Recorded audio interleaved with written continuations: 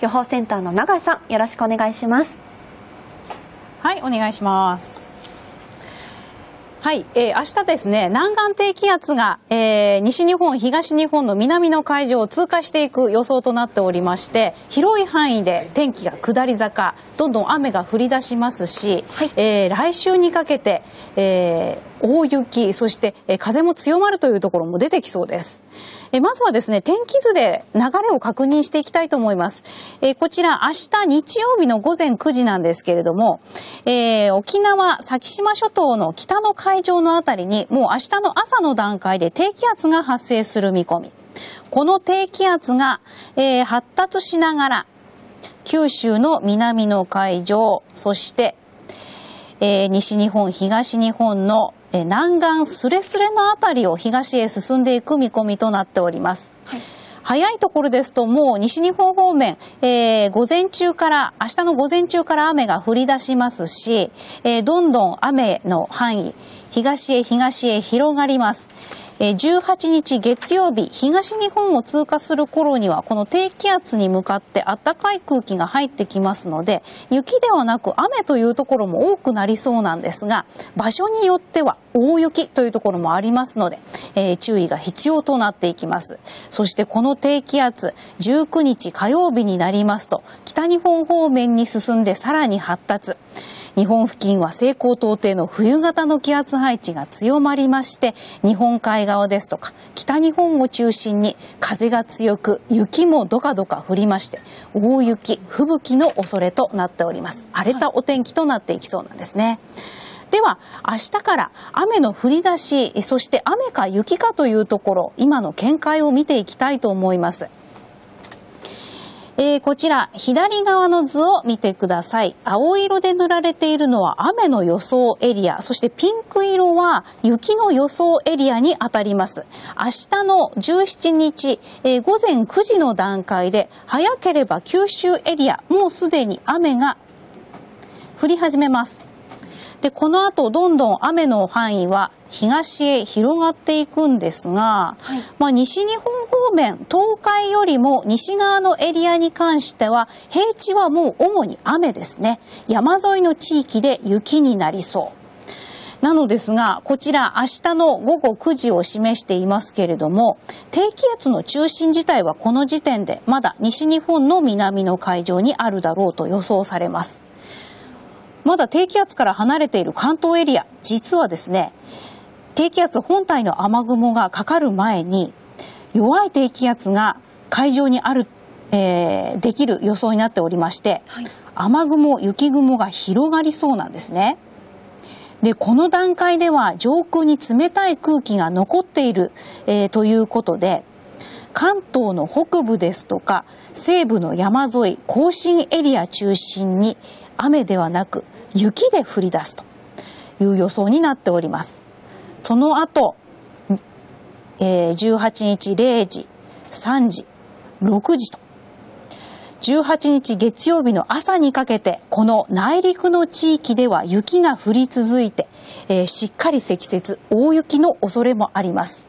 関東の南部、都心付近は降り始め、雪が混じる可能性があります。今のところ、えー、雪からすぐ雨に変わってしまうということで、積もるほどではないだろうと思われますが、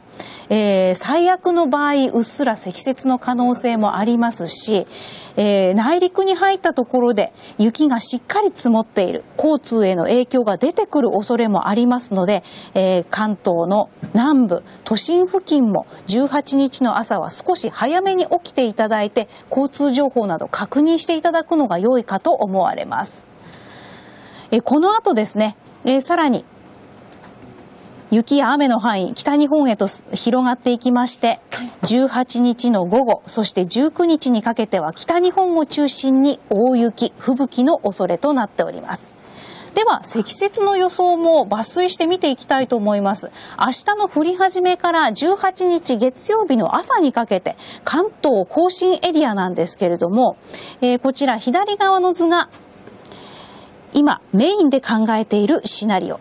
右側の図は最悪の場合です。多く降った場合の予想。まあ、本線で見ていきますと、えー、関東の北部、宇都宮、前橋のあたりもうっすら、えー、10センチ以下の積雪の可能性がありますね。で、さらに山沿いのエリアですと10センチ以上の積雪。甲信エリア、この中部エリアの内陸ですと、もう黄色いところがほとんど10センチ以上の積雪と予想されております。まあ、最悪の場合、この10センチ以上というどっさり積雪というのが関東の北部、前橋の辺りなどもね、広がる可能性がありますので、今後の最新の雪の情報を確認していただきたいと思います。はいで、まあ、18日の朝にかけては、この中部の内陸のエリアが、えー、積雪が多くなる大雪の恐れということで心配なんですが、18日の日中以降は、今度は北日本を中心にどっさり積雪、もう山沿いの地域、内陸の地域ですと30センチ以上の積雪が予想されますし、えー、平地であっても、まあ、仙台、福島のあたりで5センチから10センチ程度あるかもしれません。その他、東北、北海道、主要都市10センチ以上の積雪という、え可能性が高くなっております。さらに西日本方面、こちらもですね、平地でもうっすら積雪の可能性出てきます。西日本方面は一足早く冬型の気圧配置になって上空に冷たい空気、寒気が流れ込んできますので、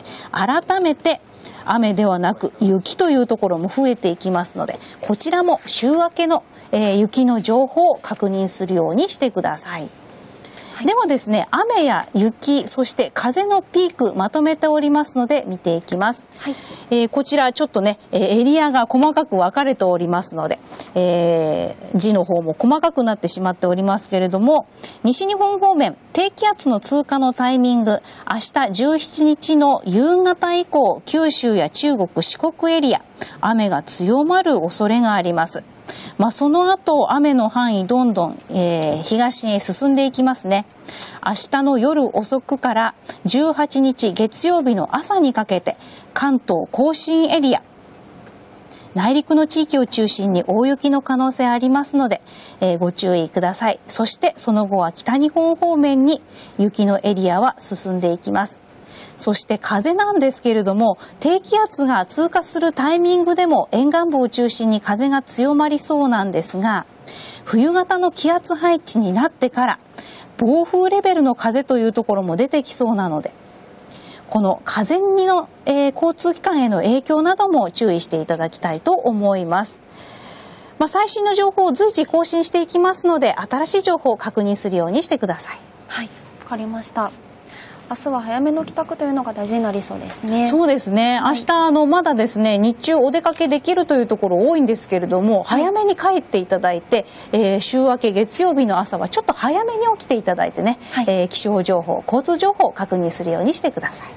かりました。それでは中井さん、ありがとうございました。えー、永井さんに明日、明後日の、えー、空の様子ということについて確認していきました。皆さん早めの帰宅を心がけてください。